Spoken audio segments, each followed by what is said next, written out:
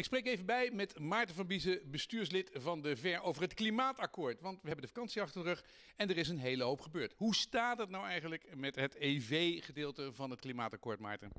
Um, nou ja, de eerste de, de, stap waar we misschien nog herinneringen hebben, daar hebben we ook een bijeenkomst gehad over de, met, met de VER, was het ontwerp klimaatakkoord. Met de voorstellen zoals we dat met elkaar hebben gemaakt aan de tafel. Hoeveel partijen was dat aan de mobiliteitstafel? Nou, zo, volgens mij zaten er met iets meer dan twintig partijen aan de tafel. Um, we hebben daar een voorstel voor gedaan. En eigenlijk wat er gebeurd is, is in die maanden daarna heeft het kabinet uh, dat voorstel een beetje... Uh, gekortwiekt. Gekortwiekt, uh, opnieuw in elkaar geknutseld en daar komt iets anders uit. Ja. Dus eerst vragen ze, wat vinden jullie? En dan gaan ze iets compleet anders doen. En echt behoorlijke grote stappen, zeg maar. Ja, ja dat, dat was echt, dat was ook niet een beetje iets anders. maar het is echt ook een volkomen ander plan geworden. Ja. Het belangrijkste daarvan is dat we, waar we streefden naar 100% zero-emissie verkoop in 2030. Ons voorstel, dat, dat was al een beetje van, nou, dat uh, moeilijk om te halen. We komen wel op, uh, op twee derde. Ja. Um, dit voorstel van het kabinet komt op een derde. Dus dat is echt een behoorlijke... Een halvering van de ambitie.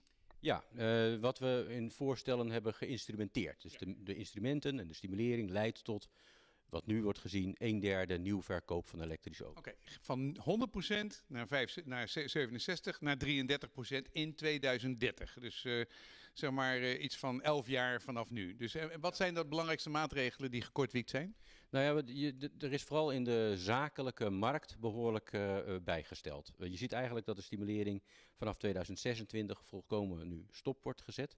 Dus de motorrijtuigenbelasting, maar ook de aanschafbelasting en ook de, de bijtelling Eigenlijk alles wordt genormaliseerd. De stimulering houdt op in 2026. Of je nou echt een hele zware diesel uh, zeg maar rijdt, of je rijdt een hele schone elektrische auto, maakt vanaf 2025 niet meer uit.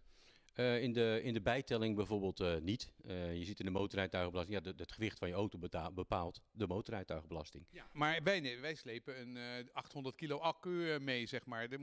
Word ik daar dan ook maar door gestraft? Ja, zoals de plan er nu uitziet wel. het kabinet zegt, en daar zit ook een zekere logica in. We hadden eerst autobrief 2, de autobelastingen, die lopen tot en met, 2000, tot en met 2020. Ja. Um, daarna was er ook niks. Hè? Was er geen stimulering meer voor elektrisch rijden. Nee. Met het klimaatakkoord hebben we nu weer wel een stimulering tot en met 2026. En eigenlijk zegt uh, uh, het klimaatakkoord nu, het voorstel van het kabinet, in 2026 stopt alles weer. Maar tegen die tijd kijken we. Dan krijgen we alweer een nieuw voorstel. Oké, okay, wat zijn er nog meer? Dus, dus vanaf 2026 is alles afgelopen. Maar ze hebben ook autobrief 3 uh, open, open, open gegooid. Hè? Het belangrijk is om nu even te kijken wat gebeurt er op de ja. korte termijn. Ja. Dus op de korte termijn is het meest opvallend dat de autobrief 2, dus de belastingen die waren vastgelegd tot en met 2020, in 2020 worden opengebroken. Dus de bijtelling voor de zakelijke auto, die gaat van 4% naar 8% uh, toe.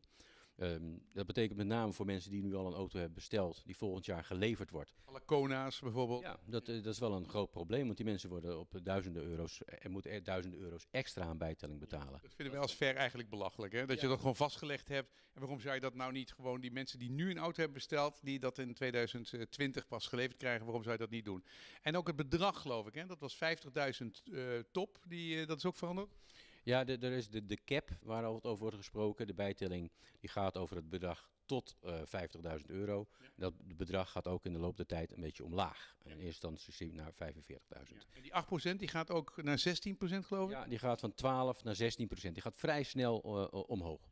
Um, dan zie je dat aan de, uh, aan de particuliere markt de aanschafsubsidie. Um, zoals die eerder werd, uh, werd neergezet van 6000 euro, een, een, stuk lager zou zijn. Zoals in Duitsland, in België en Engeland is dat allemaal dat soort bedragen? Ja, Frankrijk zit het rond die 6000. Uh, in andere landen is het ook wel wat lager hoor. Je ziet dat het bedrag lager wordt. Het is nog niet vastgesteld, maar je zou zo ongeveer rond de 4000 euro kan je denk ik verwachten dat er een aanschafsubsidie komt. En dat is op zich is dat uh, nog... En dat is een fixed amount, hè? want als het vol is, is het vol. Het is niet een open-ended regeling. Dus de eerste, zeg maar, de eerste 10.000 mensen krijgen zo'n ding en daarna is het gestopt. En dat bedrag is ook niet zo hoog, geloof ik. Het, uh, er is in ieder geval afgesproken dat het jaarbudget, er is een soort jaarbudget en als het op is, het is op is top. Ja. Okay. Dus als je, uh, nou ja, dat, dat, die regeling... Dat... Niet zoals de belasting, uh, zeg maar, voordeel wat je bij de zakelijke had, waar iedereen altijd verrast door is. Dat wordt met de particulieren niet gedaan. Oké, okay, wat nog meer? Nou ja, belangrijk is dat de motorrijtuigenbelasting blijft vrijgesteld. Uh, de aanschafbelasting blijft vrijgesteld, die blijft op nul. Ja.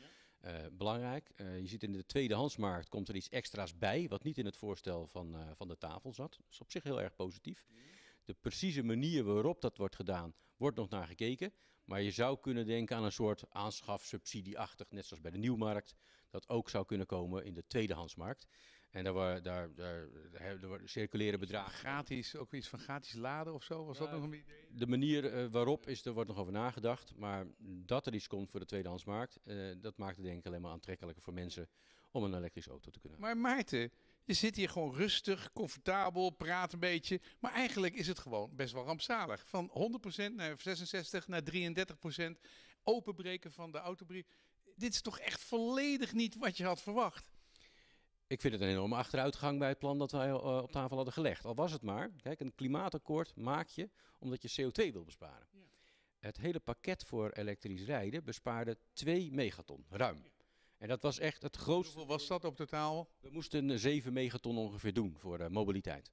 Dus eh, ruim 2 van alleen elektrische auto's, hè, dus niet van een andere voertuig, alleen elektrische auto's, is heel veel.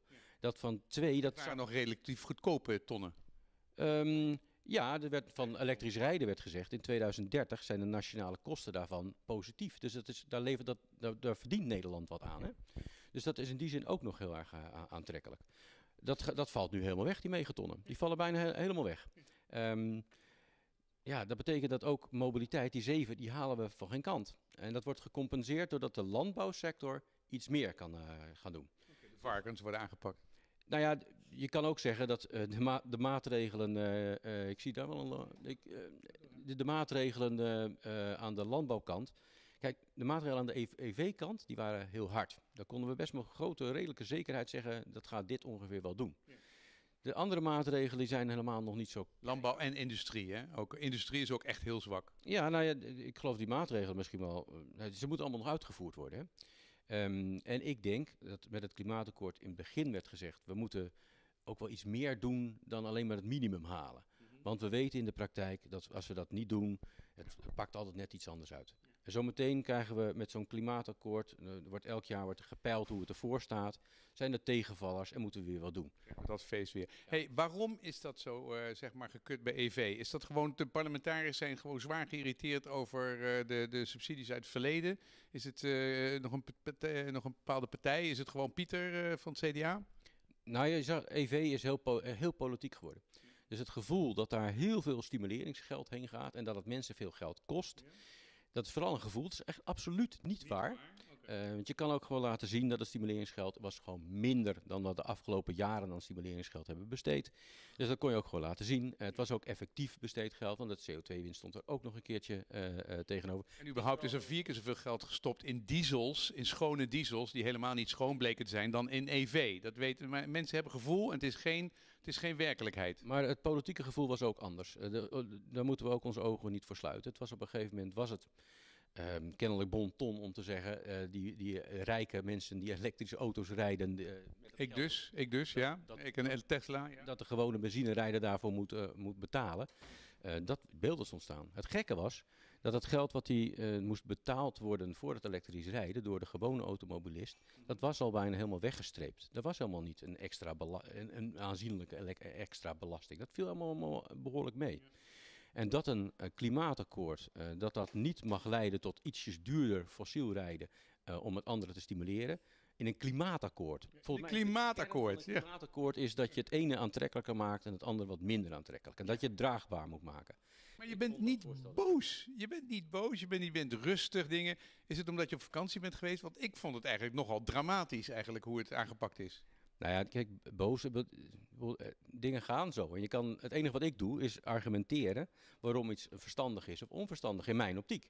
En ik probeer dat zo goed mogelijk te doen. Eh, en ja, eh, zo werkt. Hey, er is een plan gemaakt voor Europa. Wij moeten dat hele klimaatakkoord samen met alle andere voorstellen naar Europa sturen. Wat kunnen wij als verleden hier nog mee doen? A, lezen. Waar staat? We, we, Ja. we zal in de notes opzoeken. Er is een linkje. Wat is dat precies voor een rapport? Ja, dus er, gaat een, eh, een, elk land moet een klimaatplan naar Europa sturen. Hoe zij het eh, Parijsakkoord gaan, gaan uitvoeren. Dat is ook wat we hebben afgesproken. eh. dat klimaatplan dat wordt aan heel Nederland ter consultatie voorgelegd. Dus ook aan u. Ja. Er staan ook de plannen voor elektrisch rijden in. Iedereen kan daarop uh, op, op reageren. Dus ik, kan, uh, ik denk dat wij vanuit de vereniging die link ook gewoon met iedereen gaan delen. Ja. Met de vraag als u dat wil, kunt u daarop reageren en uw mening uh, daarvan meegeven. Ja. En u kunt het ook gewoon bij ons op de Facebookpagina bediscussiëren met elkaar. En wij gaan daar eigenlijk gewoon als vereniging ook gewoon een reactie op geven. Ja. 38 pagina's, is dat een interessant plan? Is dat een, een, mooi, een mooie samenvatting van alles en erop en eraan? Inclusief het non-plan van EV zit er ook in. Ik, uh, ik, ik, ga niet uitleggen hoe dit plan is opgebouwd uit andere, uit andere plannen. Uh, dat is al ingewikkeld zat. Maar er staan een paar dingen die ook wel interessant zijn. Ook wel, bijvoorbeeld staat best wel duidelijk in omschreven wat het effect is van klimaatverandering concreet voor Nederland. Dus als je dat soort dingen wil lezen, die staan daar best wel concreet in.